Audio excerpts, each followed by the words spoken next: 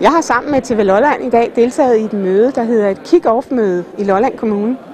Det drejer sig om, at man skal lave en strukturændring blandt foreninger og kulturliv her i Lolland Kommune. Vi har rigtig mange bygninger i rigtig dårlig vedligeholdelsestilstand, og vi har rigtig mange foreninger, der hver for sig sidder et eller andet sted og laver noget. Nogle af de tanker, der er blevet lukket op for her, er, at vi skulle kunne samle os i færre bygninger, som så kunne blive renoveret bedre. Det er ikke et spørgsmål om, siger politikerne eller, eller andre herude, at det er ikke et spørgsmål om besparelser.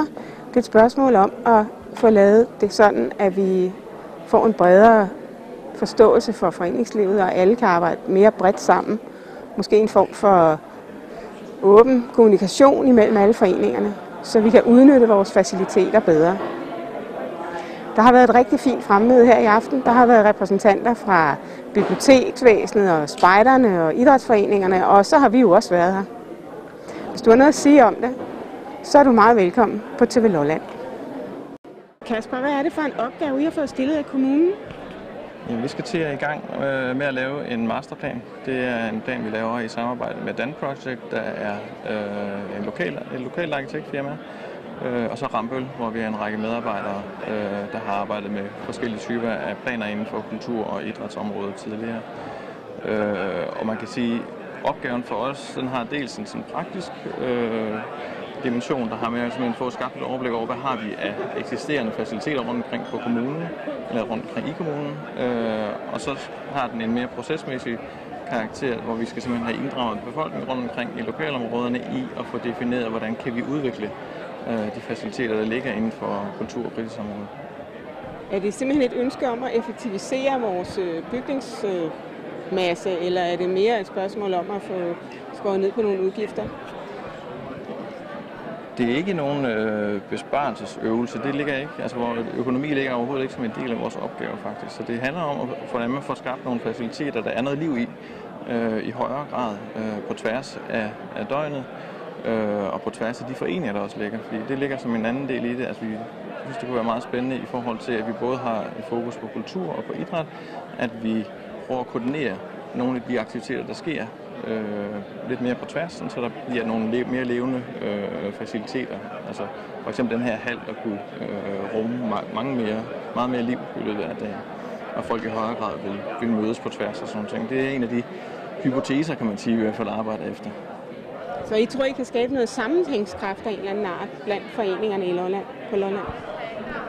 Det er i hvert fald en, øh, det kunne være en meget positiv effekt af det, og det er da en ambition. Øh, og samtidig er det jo noget, øh, vi arbejder med at prøve at få skabt nogle sådan mere øh, præcise identiteter rundt omkring i kommunen. Ikke? Så, hvad er det, man er særlig god til i Danmark? Hvad er man særlig god til i Holeby? Og sådan vil man tage udgangspunkt i de ildsjæle og de aktiviteter, man har, og prøve at se, hvordan er det, man i forhold til den lokale forståelse kan videreudvikle dem? Hvad er, vores, hvad er de lokale behov? Hvordan hvordan kan vi udvikle dem, så det bliver mere tidsvarende og, og også jo gerne fremtidssikre, kan man sige. Og hvis man gerne vil lave nogle nye, øh, større øh, kulturelle ting og ting inden for idræts, øh, eller kan sige, idrætsfaciliteter i bred forstand, så er det jo også et spørgsmål om at sige, er der nogle steder, vi kan spare for at kunne så investere andre steder. Så, øh, så det er jo også en del af, af, af dagsordenen, kan man sige.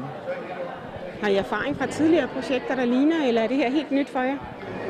Øh, jamen, vi har arbejdet med forskellige typer af projekter. Vi har lavet en idrætspolitik for øh, Odense Kommune, og vi har faktisk lavet turismepolitik for Lolland Kommune, og vi har lavet forskellige typer af masterplaner øh, i alle mulige afslutninger. Øh, det har jeg lavet en regionplan for Nairobi i Kenya, øh, et område på størrelse med, med Danmark.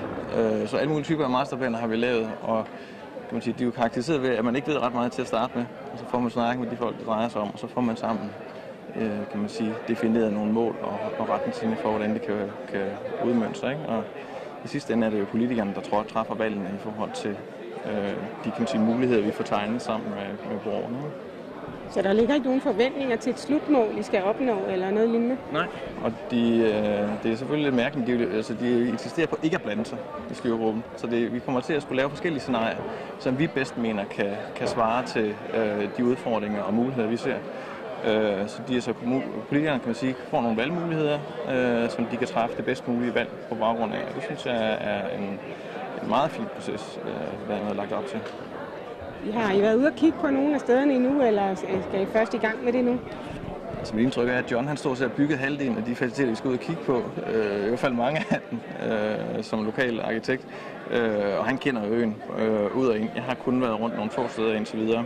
Øh, så der ligger rigtig meget arbejde øh, forude, og det er klart, at vi vil gå rundt og kigge på de lokale øh, faciliteter, og særligt hovedbyerne, inden vi holder de her øh, borgerdialogmøder øh, fra den 16. til den 24. marts.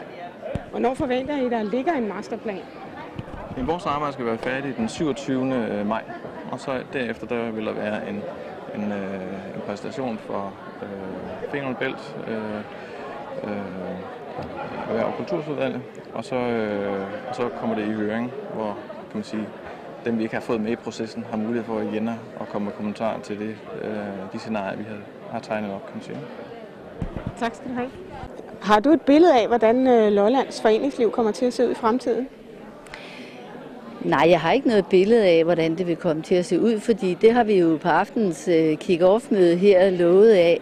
Alle vores samarbejdspartnere og foreninger og, og så videre derude, at det skal vi nu i dialog om. Så jeg har ikke nogen øh, øh forudfattet mening om det. Nej, men det kunne godt sådan være på et overordnet plan, at man havde idé om en konstru- konstruktion eller en struktur.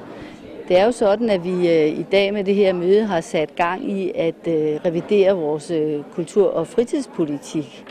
Og øh, den vil vi i hvert fald gerne have tilpasset til, øh, til nutidens krav. Og så har vi jo i dag sat gang i at udarbejde en masterplan, og det betyder, at vi meget gerne vil have øh, ja, lavet det sådan, at vi betaler mere til indholdet i stedet for at betale til mursten og lys og vand og varme hvis man kan sige det sådan. Så jeg håber, at vi kan få noget kvalitet i form af, at, at øh, foreninger måske rykker lidt mere sammen, at vi får nogle huse, hvor der kan være noget liv i fra morgen til aften, og at vi får set på, hvad foregår der i hallerne, og, og hvordan kan vi udnytte det bedre, og skal vi i virkeligheden have alle de haller, skal vi stille spørgsmålstegn ved, og lige sådan, hvordan kan vi tilpasse det til nutidens krav og, og den måde, som folk dyrker motion på i dag, også uden for foreningerne. Det er også meget vigtigt, at vi øh, gør noget med at udnytte vores natur med tilgængelighed og motionsparker osv. Så, videre. så, så I regner ikke med, at det kommer til at betyde noget for øh, antallet af foreninger, men mere noget på antallet af foreningshuse? Ja, altså det er jo sådan, at i og med, at øh, Lolland Kommunes indbyggertal jo desværre falder, så falder jo også medlemmerne i foreningerne, altså medlemsantallet, det går jo ned. Øh, det kan også være en trend, der er, at man, man melder sig ikke ind. Altså man, man går måske ikke til badminton fra 7 til 8 mere. Det er mere noget med, at man dyrker motion, når man har tid, og, og derfor er der nogle andre krav til, til, hvordan vi organiserer os i dag, og det er det, vi gerne vil ind og se på. Og det er også meningen, der fortsat er plads til Petangforeningen i Øllebølle og pensionisterne, der skyder med dart et andet sted? Det er jo ikke noget med, at vi vil prøve at lukke nogle aktiviteter, men som jeg sagde før, så er vi nødt til at se på, kan vi på en eller anden måde optimere det ved, at vi slår nogle ting sammen, så man udnytter de øh, huse, der skal være i spil fremadrettet, øh, at, øh, at de bliver udnyttet 100 procent. Det gør jo heller ikke noget, hvis foreningerne lærer noget af hinanden og flytter lidt sammen, og der opstår en spin-off-effekt af det, en synergi. Det, det synes jeg vil være rigtig godt. Så de ildsjælene her på Lolland, og dem er vi jo en del af, der er ikke nogen af dem, der behøver at ligge søvnløse efter det her? Det synes jeg bestemt ikke. Hvis de ligger søvnløse, så synes jeg i hvert fald, at de skal bruge tiden på at tænke nye idéer og tænke på, hvordan kan vi udnytte det, vi har mødt her i aften. Og jeg var rigtig glad for, at der var så mange.